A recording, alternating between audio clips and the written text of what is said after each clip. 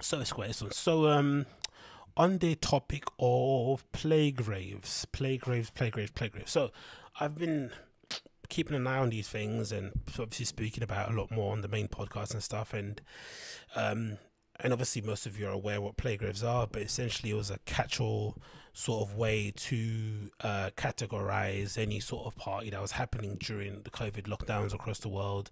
Um, the idea, the basic premise behind it was that some of the more affluent, well off DJs in the scene were going out of their way to perform these shows that were not necessarily the most legal things in the world.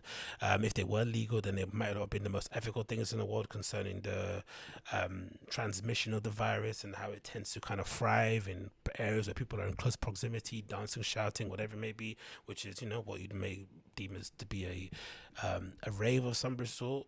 And then, uh, of course, it got to a point where, you know, accounts were set up such as Business Techno, which essentially highlighted and pinpointed certain people who are some of the worst offenders.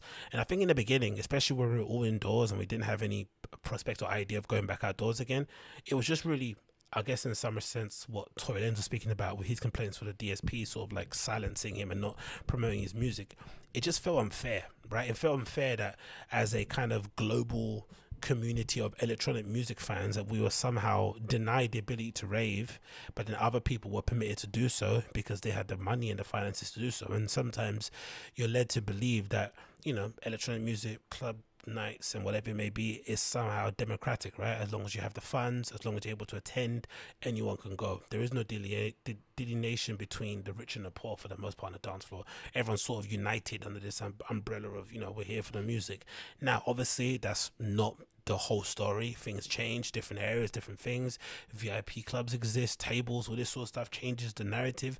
But in general, most of these people that you see on these flyers do, you know, kind of occupy this weird thing, which is kind of new. You don't really see it often. Maybe, yeah, I think so, where they sort of like occupy, they're able to kind of do things on the quote unquote underground sort of which is not really underground but they're also able to kind of exist in this really big glitzy massive tomorrowland stage sort of level. Really strange. So that kind of makes it difficult in order to judge them critically because you somehow look at them like as if somebody that should know better but then maybe they are so far gone in terms of like how big they are as an artist that they've now become a brand and a machine that doesn't necessarily um, uh, ascribe to the ideas of doing it for the culture, or doing it for the scene, or saving the scene, or this sort of crappy, you know, resident advisor, you know, um, cheesy things to put out there. So that was basically where everyone was. But then the more I started to think about it, especially considering how different countries have dealt with COVID really poorly, um, the lack of support for people that were that kind of make their living in the creative arts, the lack of support for people that live and work within the nightlife economy and within hospitality in general, it just made me think that maybe we should be a bit resistant and kind of hold our horses in terms of tattletale, tattletaling or tattletelling, whatever that word is, right, on people and calling people out for going to perform when essentially, especially even some even some of the highest paid ones that we think of, they're mostly doing it because they don't have any other way of making money right? Most of these people, I'd assume 80% of them, there's probably 20% that just, you know, are narcissistic and need to be in front of people. They need to be doing the, doing the flipping Jesus post in front of somebody. If they're not playing, they don't get any validation. If they don't get validation, there's no point in them existing. I'm sure they exist. But for the most part, most people are doing it because they, um, they need to put food on the table. They need to put a roof over their head.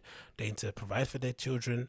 They need to pay the bills, whatever it may be doing. That's why they're doing it. And their governments are not giving them any other option or solution that kind of provides them with a chance to not go and travel many, many miles across the world to go and play in front of people they're not providing with. Now, if we were in a situation where these countries that where these place, people are from were providing some support for them in the creative industries and giving them an option where they could possibly stay home and you know do whatever needs to be done, then fair enough. But even with that being said, I just don't really think that I'm okay with telling somebody how they should and shouldn't go about earning money or how they should or shouldn't go about trying to survive and just live to fight another day. I really don't. And I think a lot of the arguments, a lot of the debate around this plague rave business techno thing you mostly comes around in Mike's from my point of view, from what I'm seeing it, it feels like it's more so a jealousy thing. For me, it was more so a feeling left out.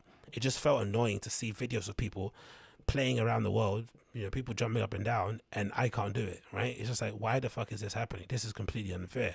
But for the people that I feel like that are really involved and who kind of have an axe to grind with business techno people in general, don't think they should exist. Don't think they should be, you know, breathing and have a place in the scene. They they definitely use this as an opportunity to get these people the fuck out of here, and I just don't think it's fair. I think you can say what you want about the artistry. Again, I'm no fan of the Amelie Lenses. I'm no fan of the Charlotte De Wittes. I'm no fan of the Peggy Gous, right? Yeah, I mean, the music is trash to me. I could probably think of far better things I could do with my spare time but I'm also not naive enough to think that other people ha- will have or are willing to have the same taste in music that I have. I think everyone has their place. Everyone has their part to play within the global, you know, or you know, the, the the global scene. Everyone has their place. Everyone has their role to play.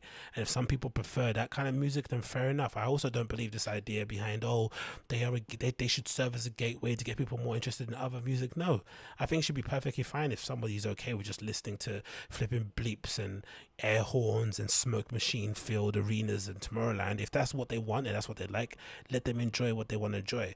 I think this idea of policing what people do with their time and how they earn their money and also policing how people enjoy their music or who they enjoy is really odd It's really odd and to me it just screams of jealousy that because you can't do it yourself because i think the conversation around plague raves would be far different if it first started being a thing where the people getting booked were the ones that were sort of like in the middle to lower tiers, who are the ones who are kind of, you know, maybe a supporting headliner, whatever it may be. If those DJs were the ones that were getting the spots first, I think the conversation would be far different. But because as soon as things went into lockdown, the people that you saw on the road were the Adam Beyers, the Nina Kravizes, the Lucianos, those are the people you saw playing first of all, right? It really rubbed people up the wrong way because it basically exposed the unfairness um, of the scene in general, right? With the fact that the the more you have, the more you get.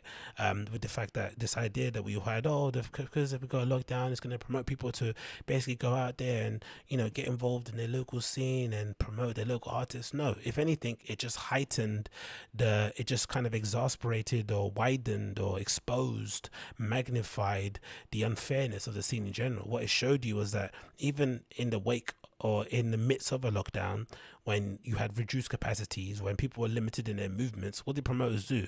Instead of taking a chance on local acts, they went and got the person that they could they knew point blank could ensure that they sell a certain amount of tickets and that they cover themselves at the bar and all that good, good stuff. And it just exposed the you know unfairness of the scene in general. And that's what basically done. And I think if that was flipped, if the lower to middle tier people were the ones getting the guest spots before, people would be a lot more would be a lot less bothered as they are now. But I think